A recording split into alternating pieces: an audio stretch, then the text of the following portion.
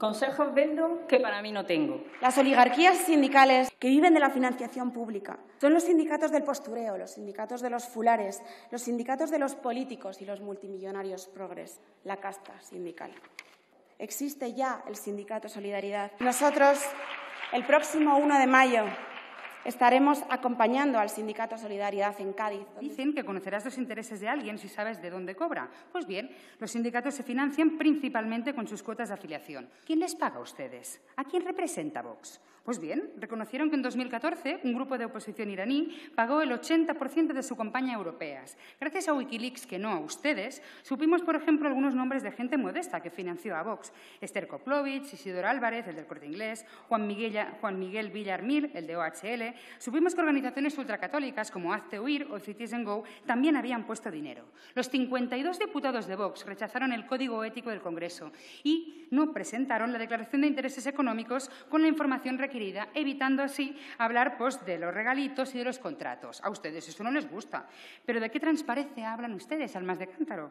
A Vox le pagan las empresas y representa hoy y siempre básicamente los intereses de los señoritos, que no aceptan y que les molesta que haya democracia dentro de sus empresas. Y que hacen que hoy los trabajadores que están montando las casetas de la feria tengan una jornada de trabajo de ocho horas y no de catorce como propuso aquí el otro día Macarena Olona. Eso es lo que hacen los sindicatos.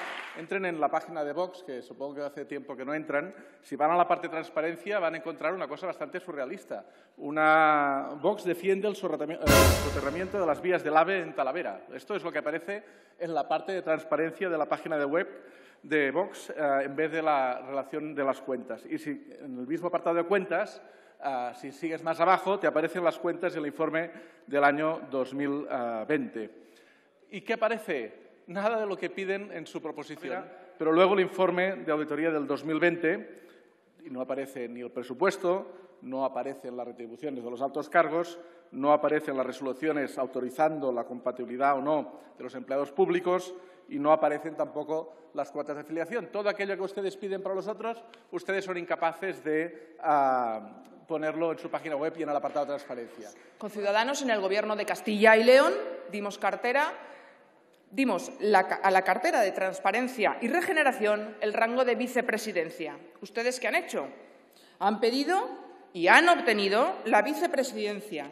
Ah, pero sin competencias, claro. Y se han cargado la transparencia. Comisiones y Obreras y UGT son enemigos de España.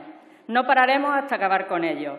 Rodrigo Alonso, que nos dedica estas lindezas, además parlamentario andaluz por la provincia de Almería, cuya gran y única aportación para la mejora de la calidad de vida de los y las andaluces ha sido decir en sede parlamentaria que los ricos son ricos por naturaleza y que contra ellos no se puede hacer absolutamente nada. El Tribunal de Cuentas, al único partido al que le hizo propuesta de resolución de subvención electoral el doble de los gastos declarados irregulares fue a ustedes, al, partido Vox además ninguno. Tienen un grave problema con la democracia y además también con los derechos humanos. A ustedes les gustan las relaciones laborales de antaño, como algunos señoritos de la Feria de Abril, que no te puedan despedir por quedarte embarazada, que no te puedan despedir por tener un permiso de paternidad, que puedas firmar un contrato de alquiler o una hipoteca, porque todo eso es un contrato fijo. Eso es la reforma laboral, que es básicamente estabilidad y libertad de la buena. Y en Cádiz, por cierto, los huelguistas exigían ultraactividad, eso que contiene nuestra reforma laboral y que ustedes votaron no. Pero hablemos de financiación.